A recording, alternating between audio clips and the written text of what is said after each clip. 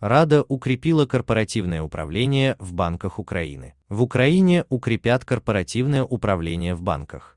Верховная Рада приняла во втором чтении соответствующий законопроект номер 4367. Об этом сообщает РБК Украина со ссылкой на трансляцию заседания ВР.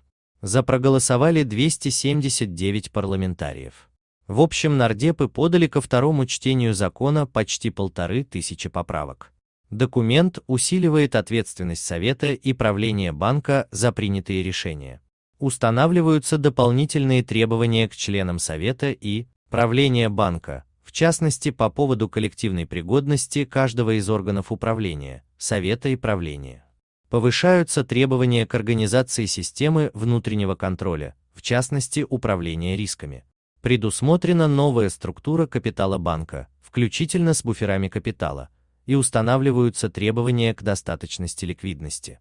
Закон также расширяет полномочия НБУ в области надзора через осуществление риск-ориентированного надзора, обеспечение оперативного реагирования на ухудшение состояния платежеспособности и ликвидности банка. Согласно документу, количество заместителей главы Национального банка возрастет до 6 человек. Такое решение связано с расширением полномочий нацрегулятора по курированию небанковского финансового сектора. При этом от нормы о ликвидации должности первого заместителя главы НБУ отказались. В ходе рассмотрения закона в сессионном зале парламентарии также не стали запрещать служащим НБУ получать кредиты в банках и других финансовых учреждениях. Прописано, что член Совета Нацбанка, срок полномочий которого истек, занимает должность до вступления в должность новоназначенного члена Совета. Ранее глава НБУ Кирилл Шевченко объяснял, что этот законопроект является структурным маяком для продолжения сотрудничества с Международным валютным фондом.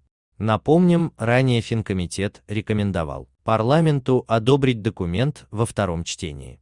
Как писала РБК Украина, соответствующий законопроект нардепы приняли в первом чтении в конце мая.